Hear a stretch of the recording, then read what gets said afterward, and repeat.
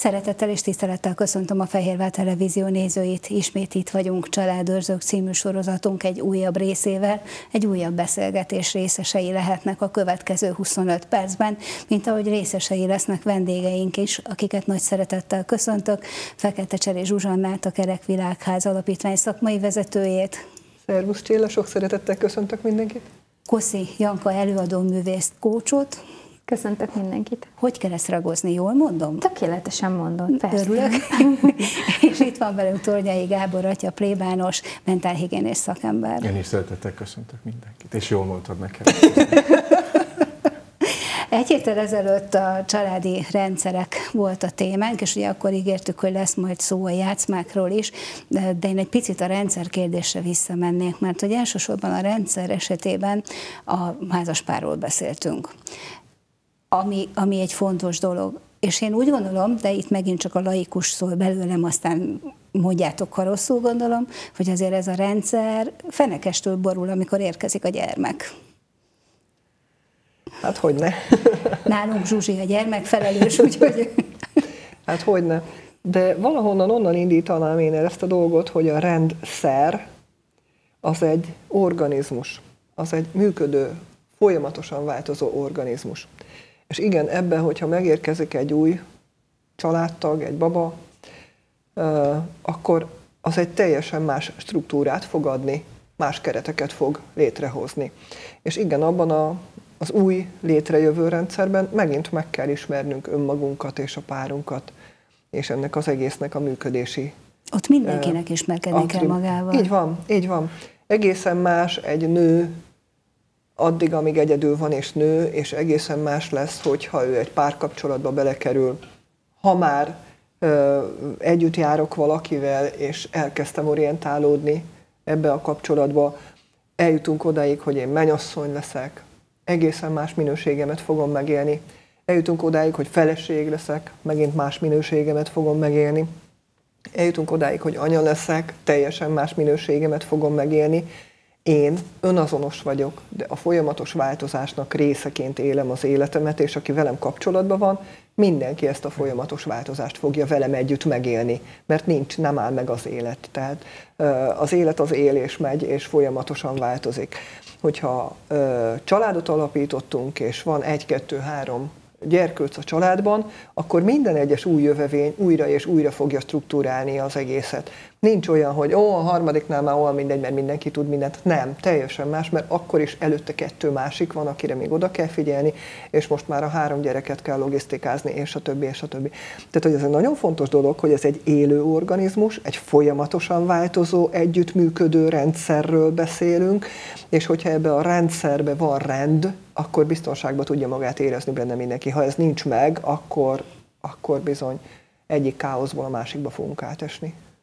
És ha nem változott eleget, amikor együtt élt a pár, akkor változik majd tényleg a gyerekek növekedése, növekedésével, hiszen ott is ott van, hogy amikor még csak kis pelenkás, hát akkor, akkor az a felállás, az a rendszer, hogy őt ellátjuk. Aztán jön az, amikor már részt vesz a uh-huh. családi háztartásban például, aztán jön a kamasz, arról aztán meg már sokat beszéltünk, a nehéz időszak. Nekem azt jutott még eszembe, és lehet, hogy tulajdonképpen ugyanarról beszélünk, csak most így egy mocorgott így a fejemben, amikor föltetted a kérdést, hogy, hogy, hogy már önmagában az a pár rendszerben van. Tehát, hogy mi arról, vagy úgy beszélünk egy picit a, a családról, mint hogy ez egy ilyen vettiszta jelenség lenne, hogy van a férfeleség, és amiben belekerül a gyerek, de hogy tulajdonképpen a férfeleség is már egy saját rendszerben van, hiszen a, a kapcsolataikon keresztül ők nem önállóan léteznek, hanem, hanem folyamatos vibrálás van már eleve körülöttük is. És ebben a, ebben a folyamatos vibrálásban alakítanak ki valami rendszert maguknak, a, a család keretein belül, de tulajdonképpen ez az organizmus, amit így mondtál, nekem nagyon tetszett ez a kép, hogy, hogy ez, ez tulajdonképpen nem áll, mint hogy ha megint, ha, ha saját magamra gondolok, hogy, hogy nincs olyan, hogy egy idegsejtem van önmagában, hanem hogy az egész szervezetem vibrál és folyamatosan, amikor még tudati szinten azt gondolom, hogy alszom, akkor is az egész szervezetem mocorog és mozog, és minden mindennel hatással van, és a környezetem hat rám. Szóval, hogy, hogy ez a család működése kapcsolata is ugyanígy igaz, és hogy ebben még belekerül a, a gyerek ebbe az egész vibrálásba, vagy, vagy mozgásba, mocorgásba, maximum csak izgalmasabbá teszi a történetet. Nincs ebben valami ellentmondás, hiszen a rendszer valahol attól is rendszer, hogy, hogy egymást követi, és tudom, hogy ez van, így működött mindig, és, és ez a helyzet. Hát, ha belegondolsz, a természet az így működik, hogy ott aztán minden mindennel összefügg.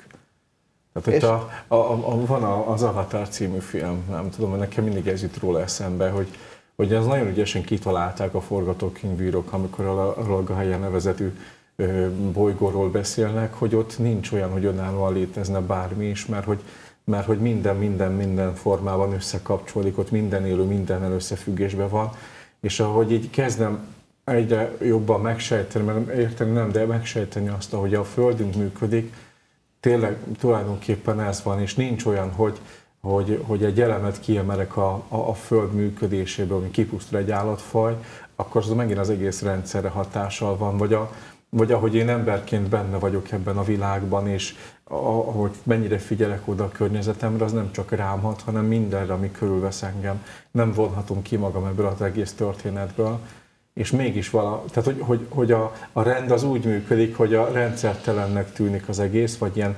ellentmondásosnak, de mégis mindennel összekapcsolódik, és minden mindenre hatással van. Abszolút, e, igen. Nekem nagyon, nagyon tetszett ez az avatáros példa, nagyon szeretem ezt a filmet egyébként.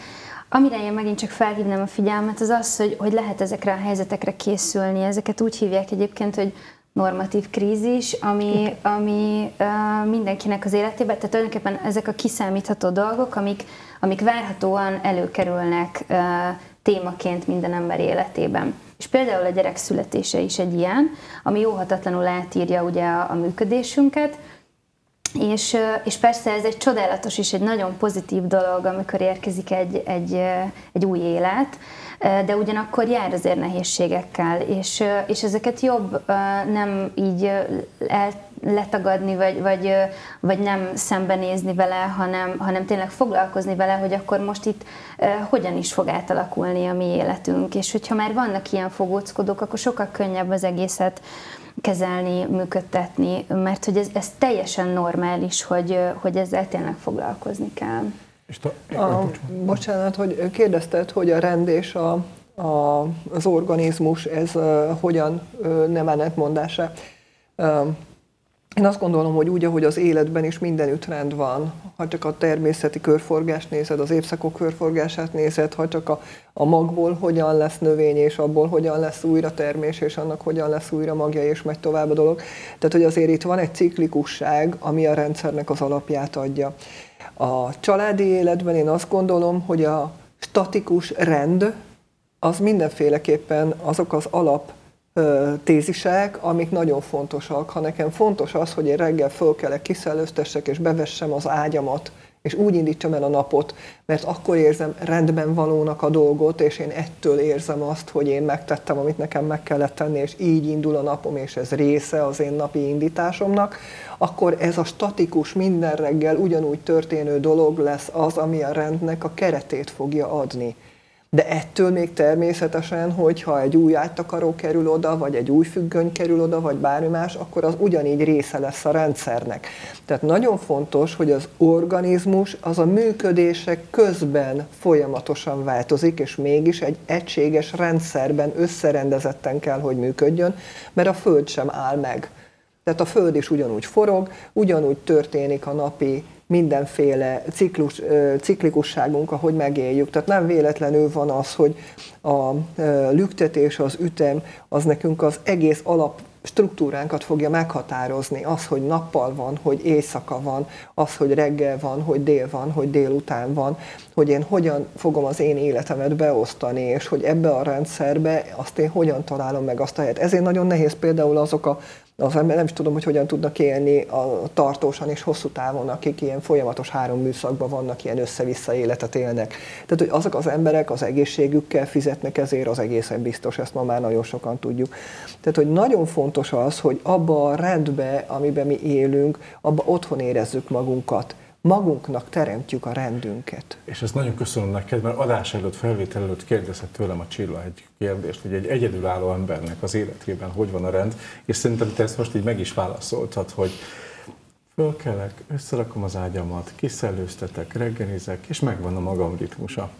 És akkor gyakorlatilag én azt gondolom, hogy ez a rend fogalom, és ez legyen szó akár családi kapcsolódásról, de akár az egyéni életről, számomra nagyon fontos szó a biztonság.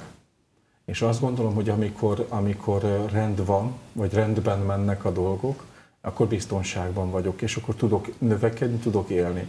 És abban a pillanatban, amikor, amikor a rendszer felborul, nem rendben mennek a dolgok, vagy rend ellenesek a dolgok, akkor, akkor elvesztem azt az alapbiztonságérzetemet, ami, ami, ami, ami nekem abban segít, hogy, hogy létezni, gondolkodni tudjak, és akkor egy csomó energia arra megy el, hogy a, a rendellenes állapotot valahogy rendszerű formáljam és akkor megtaláljam abban, hogy hogyan, hogyan tudok működni és biztonságban lenni. Kicsit most igazságtalan vagy velem, mert nem ezt mondtad a szünetben, és én egyfolytában nevettem, mert tényleg feltettem egy ilyen kérdést, hogyha valaki egyedül él, akkor, akkor van-e rendszere?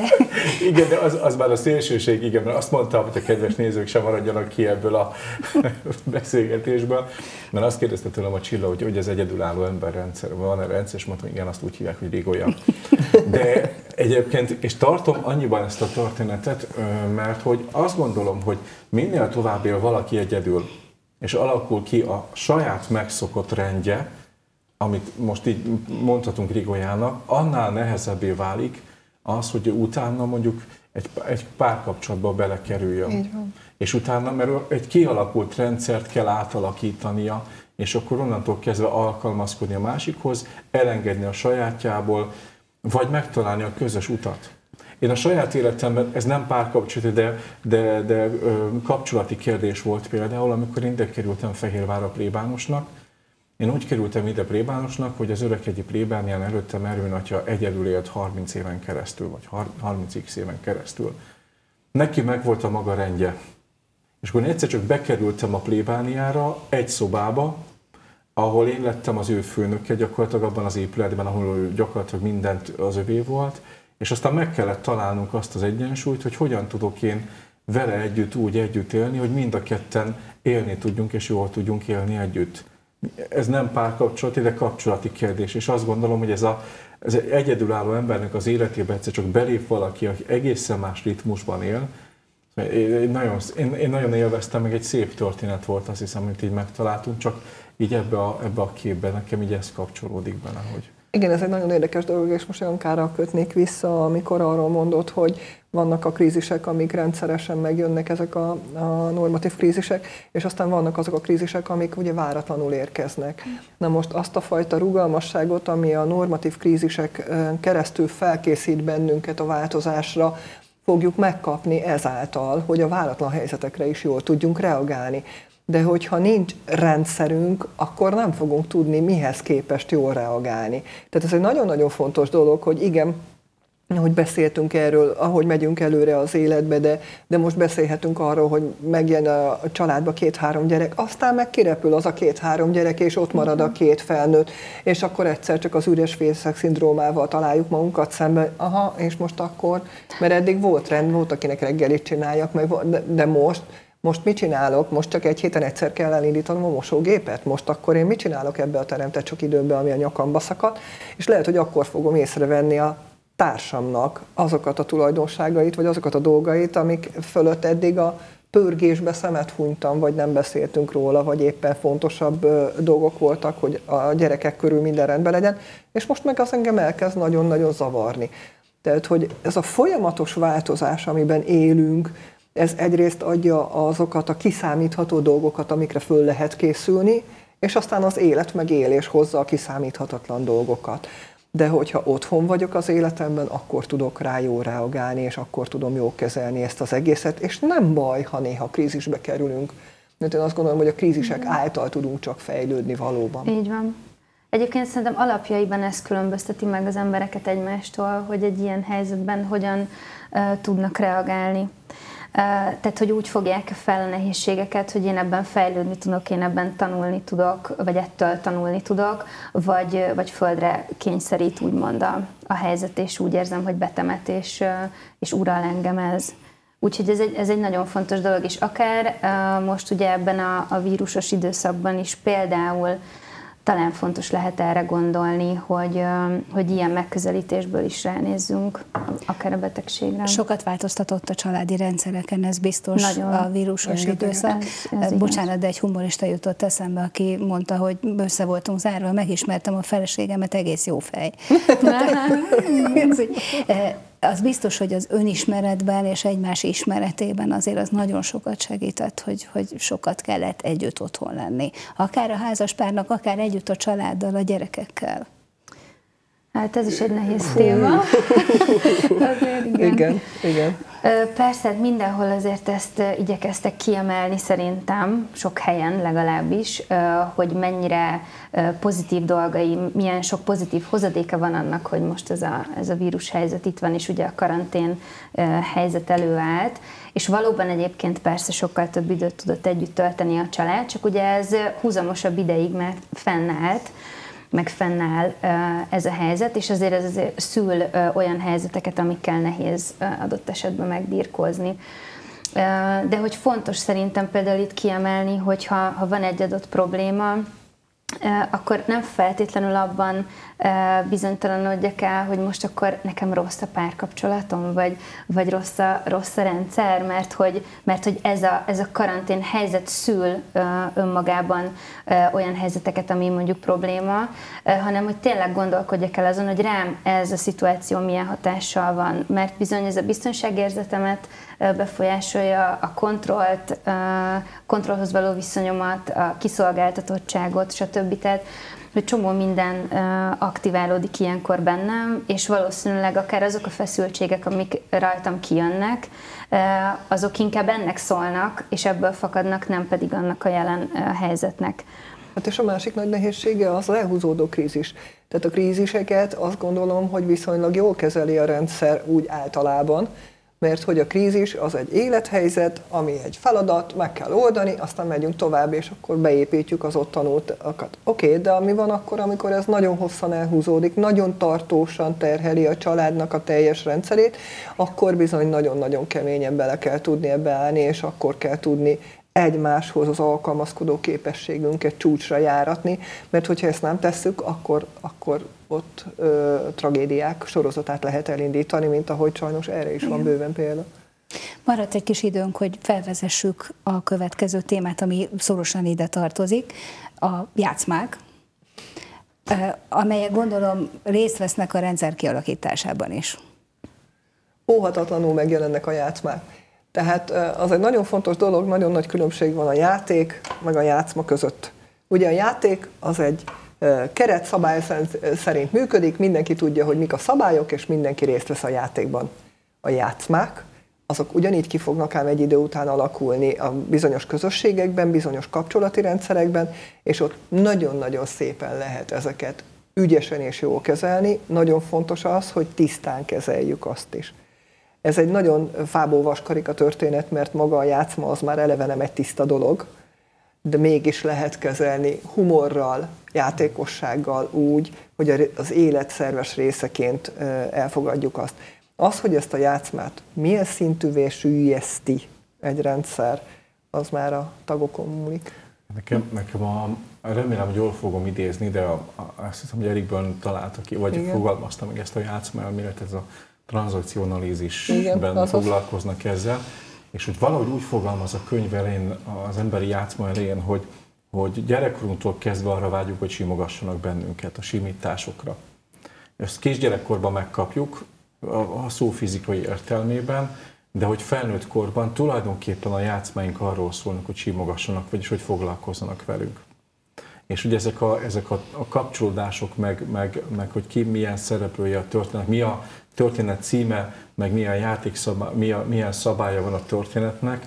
Én azt hiszem, hogy ez megint egy picit ilyen önismereti kérdés, hogy hogyan látok rá arra a játszmára, meg tudom-e fogalmazni a címét, és ugye milyen szereplője vagyok ennek a történetnek.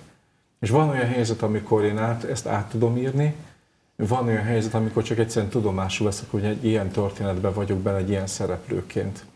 És azt hiszem, hogy ez megint egy, egy ilyen formában izgalmas kérdés, hogy tulajdonképpen hogyan, hogyan látok rá én szereplőként, mert hogy, mert hogy tényleg azt hiszem, hogy ezerféle játszmában vagyunk benne, sokszor öntudatlanul is. Csak érezzük, hogy, hogy valahogy ebben tudok kiszabadulni, valami kényszerpálya vagyok, már megint ugyanazt csinálom, pedig nem akartam, ha így viselkedik, akkor már megint azt váltja ki belőlem, és én pontosan úgy viselkedek, ahogy, ahogy ezerszer csináltam, mert éppen azt a szerepet játszom, amit esetleg nem is fogalmaztam meg magamnak. De igen. Semmi, csak nagyon szeretem ezt a címet adni valamilyen helyzetnek, hogy ezt egyébként mások is, akinek van kedve, mondjuk így gyakorolhatja, hogy, hogy akár az adott napomnak mondjuk milyen címet adni, mert ez is nagyon sok mindent elindít. Egyébként vannak, szerintem a, a kommunikáció az egy, az egy nagyon jól kézzelfogható dolog ebben, a, ebben az egészben, hogy így a játszmák témakör. És, és ugye vannak az én állapotokat említetted, van ugye a gyermeki, a felnőtt, és mi is a harmadik? Szuper. Igen, és jó, hogy lehet kérdezni. szóval, hogy, hogy tudatában vagyok, mert hogy egyik se baj, tehát hogy mindegyikünk, mindegyik a részünk, és hogy, hogy semmi gond, hogyha éppen az adottban helyezkedünk bele, de hogy tudatában tudok-e én annak lenni, hogy most akkor milyen én állapotból beszélek, mert hogy ebből van a legtöbb konfliktus Igen. igazából. De lehet, hogy erre majd egy későbbi alkalommal, mert... Szerintem ez még egy külön témánk ez egy külön lesz. Téma. Mindenképpen külön témánk lesz. De még a játszmával kapcsolatban gondolkoztam én egy kicsit, hogy mert picit olyan, mintha negatív dolog lenne, de hogyha mind a két oldal tudja, hogy erről van szó, akár még szórakoztatják is magukat ezzel, hogy az életük játszmáját játszák egymással? Az Vagy ennek mindenképpen rossz vége az, az, az már játék. Az már játék. Tehát az nagyon fontos, hogyha a, a Ugye a játszmának az a célja, hogy nyereségre törekszik az, aki a játszmát elindítja valamilyen formátumban, hogy neki mi a nyereség, a simogatás ilyen vagy olyan vagy amolyan formája, az egy másik történet. De hogyha én tisztában vagyok azzal, hogy egy élethelyzetben, amiben szinte kotta szerint mindig ugyanaz történik, és ugyanazt fogjuk végigfuttatni program szerint, és jutunk el a végeredménybe mindig ugyanoda, akkor ez egy olyan játszmarendszer, amit ha meg akarok változtatni, akkor kell tisztában lennem, hogy nekem ebben mi a szerepem, hogyan veszek benne részt, mi az, amit én meg tudok változtatni, mert ha egy valaki változtat, már változik az egész rendszer, ahogy a Janka elején valamikor beszéltünk erről. Tehát ez egy nagyon fontos dolog.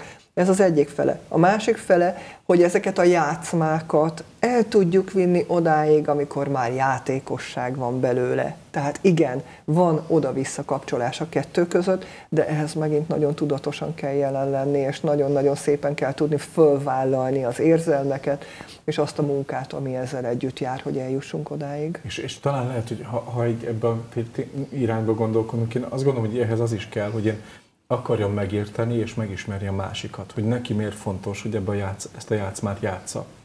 Mert onnantól kezdve tudok vele bármit is kezdeni a történettel, és le, akár átcímkézni, és Igen. egy új címet, meg új szabályt adni a történetnek, és akkor onnantól már én tudom uralni a történetet. De amíg, amíg nem értem meg az ő mozgatórugóit, hogy neki miért van arra szükség, hogy ezt állandóan eljátsza velem, addig, addig nem fogok tudni mit csinálni, mert, mert lehet, hogy benne. Én azt maximum el tudom dönteni, hogy ezt csinálom, vagy nem csinálom tovább. Tehát, hogy kiszállok a játszmából, és akkor lezárom, akkor játszok tovább úgy, ahogy te akarod.